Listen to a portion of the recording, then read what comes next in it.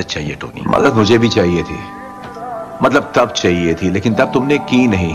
हम चाहे किसी भी चोर चक्के को पकड़ते रहे लेकिन वहाँ दूसरी दुनिया में जो है वो सबसे बड़ा खतरा है। जी याद आया? मैंने तुम्हें कहा था। हाँ याद आया। टोनी टोनी मैंने कहा था कि हमें पूरी दुनिया पर एक एक सॉलिड मज़बूत कवच बनाना चाहिए। याद आया तुम्हें?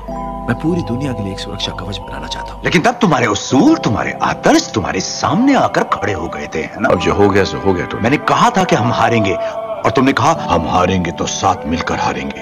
हार जाएँगे। तो साथ मिलकर हारेंगे। हम हार गए कैप्टन। और तुम उस वक्त नहीं थे।